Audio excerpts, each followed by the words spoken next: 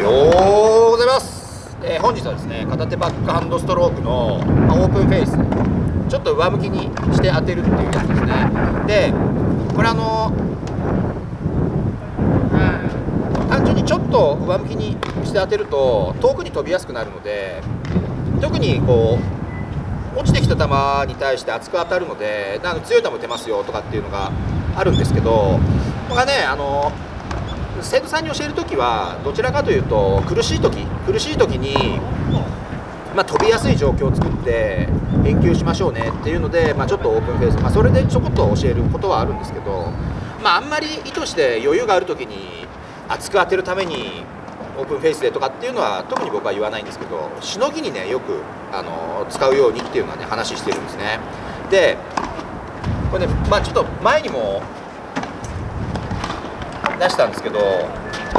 体勢がきついと、まあ、ギリギリ届きましたみたいな時に、まあ、足はね移動に使っちゃうんで手だけしか動かさない要素であの飛ばさないといけないんですけどそんな時はなるべくこう回旋させないで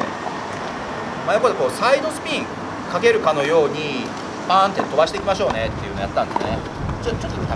なりますちょっとまあ横、まあ、これちょっと余裕はあるんですけど余裕がないとして余裕がないとしてちょっとこうでしかも止めね。止め。サイドスピンかけるような。どうせサイドスピンはねかかんないんでプラス止めっていうので打ってきましょうただそでその時に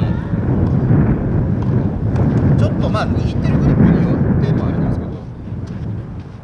ちょっと背屈目にしちゃって背屈手の甲側にちょっと曲げる感じですね。ちょっと背屈面にしてあげると面って上向くんですね。ででプラス横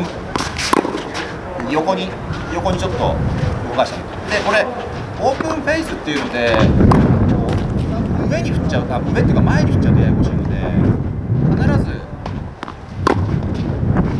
横に。で、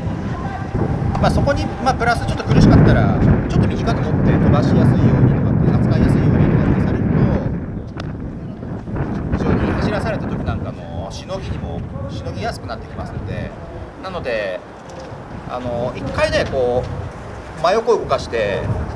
真横動かしてちょっと背屈させてとかっていうとこれ1回試してみるとあ結構飛ぶなってなると思いますのでなので苦しい時なんかぜひね、あのー、使っていただけるといいと思いますんで、まあ、試してみてください。はい。じゃあ今日お願いします。どうもありがとうございました。